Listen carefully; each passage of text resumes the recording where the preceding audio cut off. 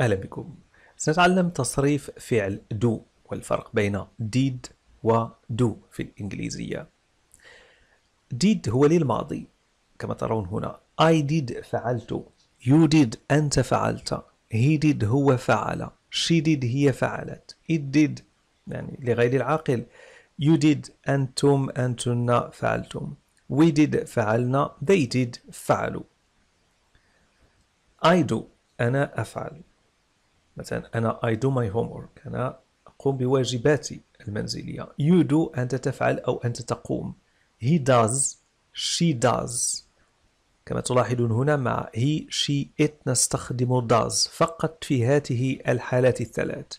You do we do they do يفعلون. إذا هنا المضارع الحاضر. إذا أردت أن تتحدث عن الماضي تستخدم did. المستقبل I will do. سأفعل. I will do my homework. I will do uh, sports. I will do the dishes.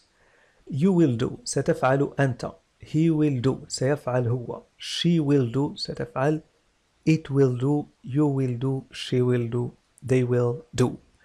شكرا على المشاهدة وإلى اللقاء. إن كنتم ترغبون في فيديوهات قصيرة مثل هذا النوع اكتبوا ذلك في التعليقات وسأستمر على هذا المنوال.